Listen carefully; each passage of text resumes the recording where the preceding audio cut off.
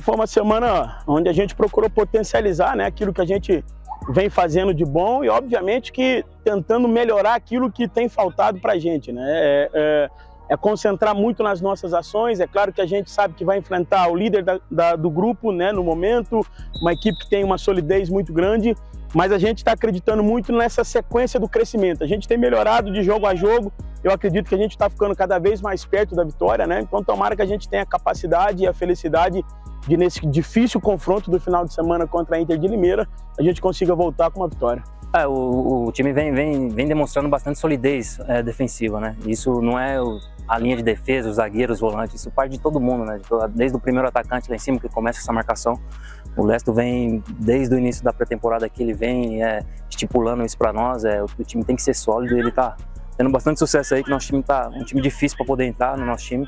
É, a gente precisa manter isso aí para poder conquistar algo maior na, na Série D. É, o jogo difícil, a Inter de Limeira vem, vem de um, um, processo aí de... Fizeram uma boa campanha no Paulista, né? Então os caras vêm com um pouco de moral, isso é natural. É, tá, jogando com bastante confiança, tem conquistado os, os, os resultados, né? Mas é, o Santo André também vem, vem fazendo uma boa campanha aqui. A gente precisa é, chegar lá, incomodar os caras na casa deles lá para poder a gente é, buscar essa vitória aí que tá, tá nos faltando.